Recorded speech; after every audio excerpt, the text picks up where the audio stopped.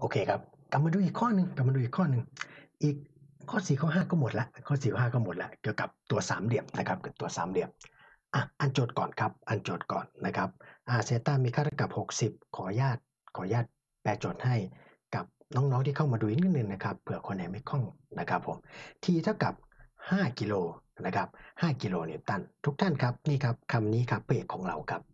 determine นะครับผมหา magnitude กับ resultant force ที่อยู่ตัวนี้แหละครับเนี่ยเนี่ยตัวเดิมโจทย์เหมือนเดิม แต่ข้อนี้เราพยายามนะครับ เราก็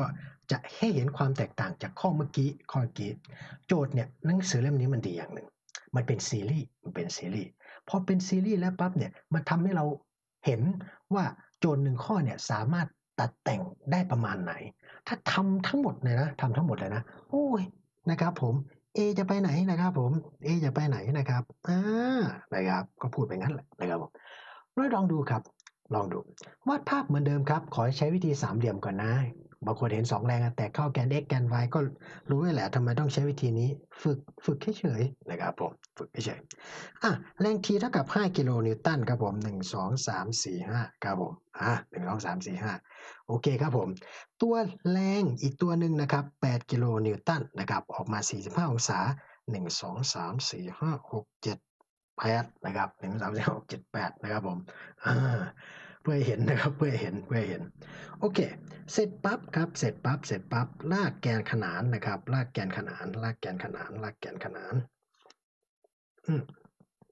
ลากแกนขนานนะครับลากแกนขนานลากแกนขนานโอเคนะครับโอเค คนไหนที่ยังทำอยู่นะครับ คนไหนที่ยังทำอยู่นะครับ กด stop ไว้ก่อนเนาะกด stop ไว้ก่อนนะครับผมกด stop ไว้ก่อน ถ้าทำเสร็จแล้วนะครับทำเสร็จแล้วอยากเช็คคำตอบเลยจะได้ไป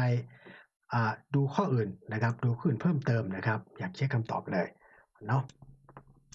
อะทำไมเป็นอย่างนี้ล่ะนะครับทำไมเป็นอย่างนี้ล่ะ เดี๋ยวมาดูกันนะครับ เดี๋ยวมาดูกัน เหมือนเดิมครับ วาดแรงเสร็จปั๊บนะครับวาดแรงเสร็จปั๊บเขียนเขาให้เรียบร้อย ตัวนี้ก็ 5 กิโลนิวตันนะครับ ส่วนไอตัวหนูยาวๆเนี่ยคือ 8 กิโลนิวตัน เดี๋ยวมุมค่อยใส่แล้วกันนะ จะได้ไม่ลกมากนะครับ ดังนั้นแรงที่ แรงรับครับ แรงรับ แรงรับ แรงรับของเราก็คือแรงที่ลากจากนะครับที่ลากจากจุดนะครับที่ลากจากจุดนี้มาถึงจุดที่เขาตัดกันนะครับ จุดที่เขาตัดกัน ก็จะเกิดรูปสี่เหลี่ยมผืนผ้าขึ้นมา เกิดรูปสี่เหลี่ยมผืนผ้าขึ้นมา เหมือนเดิมครับ หามุมกันก่อน หามุมกันก่อน มุมที่เราต้องการหาอะง่ายแล้วล่ะมาถึงตอนนี้นะครับ ก็คือมุมนี้ รูปสี่เหลี่ยมพื้นผ้าเหมือนเดิมครับ ใช้เหมือนเดิมก็คือ มุมตรงข้ามมีค่าขนาดเท่ากัน มุมตรงข้ามมีค่าขนาดเท่ากัน โอเค เริ่มเลยนะครับอ่ามุมตัวนี้มีค่าเท่ากับ 60 ครับทุกท่านครับ มุมนี้มีค่าเท่ากับ 60 มุมที่เราต้องการหา มุมที่เราต้องการหา จะมีค่าเท่ากับเท่าไหร่ ตัวนี้ครับมีค่าเท่ากับ 45 มีค่าเท่ากับ 45 มีค่าเท่ากับ4วัดออกมาจากแกนแล้วนะ มีค่าเท่ากับ 45 มุมนี้ 60 ครับ มุมนี้ 60 มุมนี้ 45 แสดงว่าไอ้มุมตัวนี้นะครับ มุมตัวนี้ก็คือมุมนะครับ มุมนี้ก็คือมุม 30 ได้ออกมาแล้วครับ เราได้มุมที่กระทำออกมาสองข้างนี้แล้วตัวที่เราอยากได้ ตัวเราอยากได้ก็คือ 30 บวก 45 30บวก45 เป็น 75 แต่มุมที่เราต้องการจริงๆ เพื่อนำไปเข้ากฎของโคไซน์คือมุมนี้ครับ ให้เป็นเซตาก็จะมีค่าเท่ากับเหมือนเดิมครับ 360 ลบ ลบ 2 มุมตรงข้าม 2 มุมตรงข้าม ก็คือก็คือ 2 คูณอยู่กับ 75 อะ แบ่งกันคนละฝั่ง แบ่งกันคนละฝั่ง แบ่งกันคนละฝั่ง ก็กลายเป็นส่วนด้วย 2 ส่วนด้วย 2 ทุกท่านก็จะได้มุมเซตาออกมาครับว่ามีค่าเท่ากับ 105 องศา105องศา อยากรู้แรงลับนะครับ อยากรู้แรงลับ อยากรู้แรงลับ แรง F นะครับ เป็นแรงลับทำยังไงดี FR เป็นแรงลับ อาศัยกฎของโคไซน์ครับ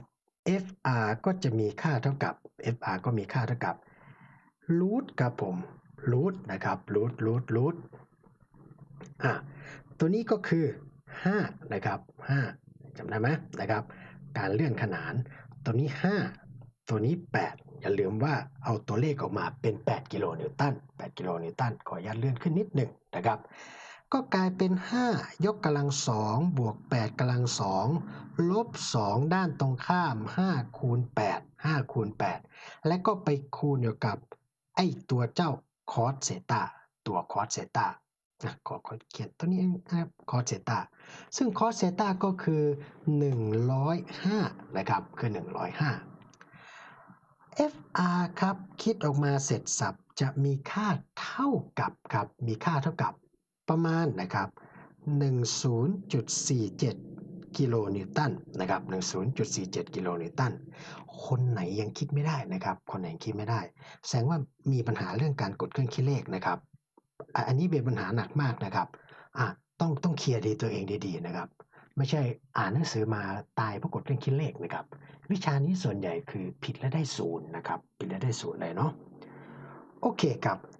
FR ออกมาแล้วครับ 100 อะเป็น 10จุด10.5 กิโลนิวตันแล้วกัน 10.5 กิโลนิวตัน มาดูกันต่อ มาดูกันต่อ มุมที่เราต้องการ มุมที่เราต้องการ มุมที่เราต้องการ คือมุมไหนครับ มุมที่เราต้องการเนี่ยมุมที่เราต้องการ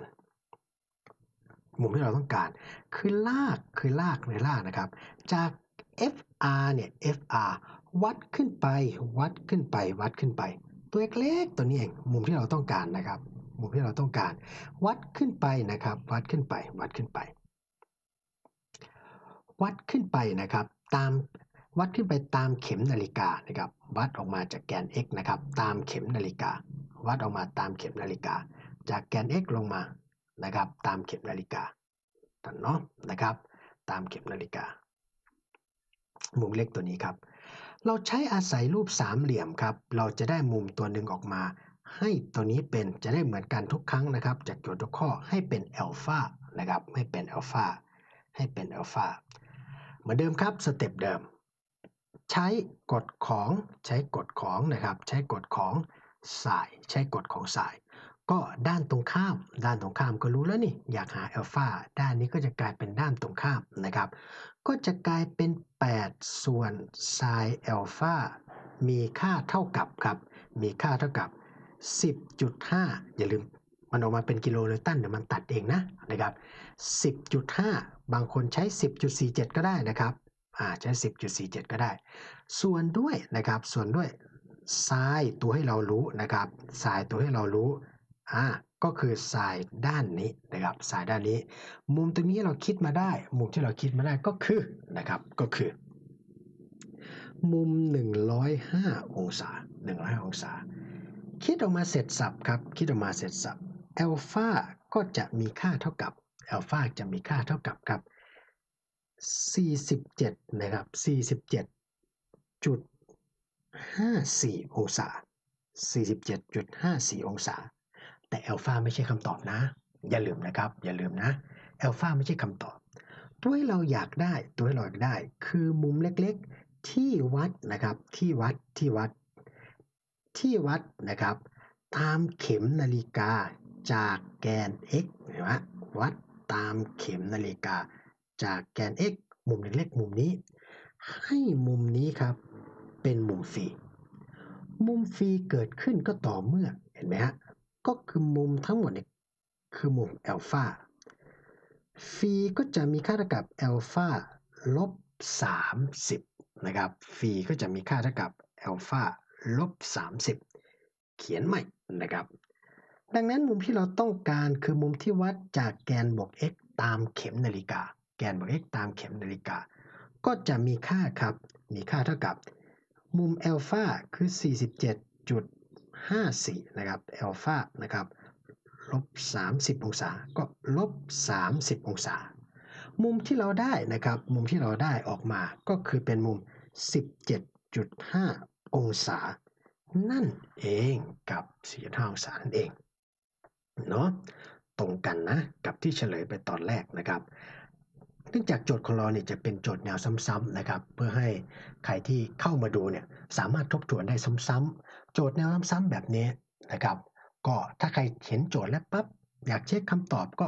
เพิ่มวิวให้กันแค่นั้นเองนะครับผมก็เหมือนกดเข้ามาดูคำตอบ แล้วก็ไปขึ้นได้เลย ไปขึ้นได้เลยนะครับผมก็อีกครั้งนะครับอีกครั้งก็